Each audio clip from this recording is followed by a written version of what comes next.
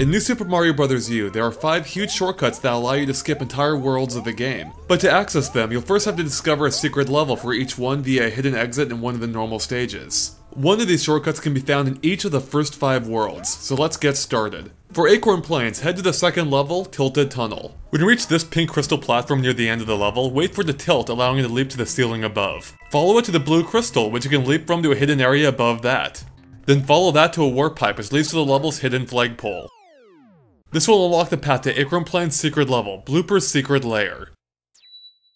And finishing that level will unlock the secret shortcut to Soda Jungle, allowing you to bypass the rest of Acorn Plains and all of Layer Cake Desert, Sparkling Waters, and Frosted Glacier.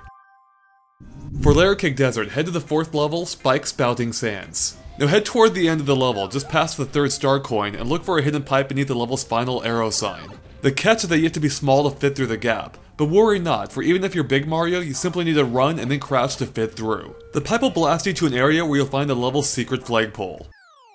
This will reveal the path to Layer Desert's secret level, Piranha Plants on Ice. And finishing that level will unlock a secret shortcut to Soda Jungle, allowing you to bypass both Sparkling Waters and Frosted Glacier entirely. For Sparkling Waters, head to the Haunted Shipwreck.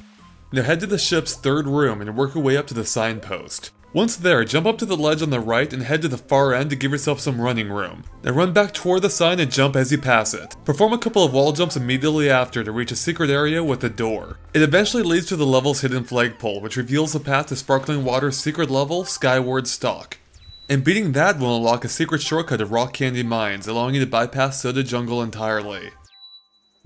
For Frosted Glacier, head to the Swaying Ghost House. Once you reach this room, grab a couple of coins to create a hole, then activate the P-switch. Now immediately jump through that hole onto the blocks which will follow you upward. Jump as fast as you can to reach a secret door in the ceiling well above the main one before the P-switch expires. That door eventually leads to the level's secret flagpole.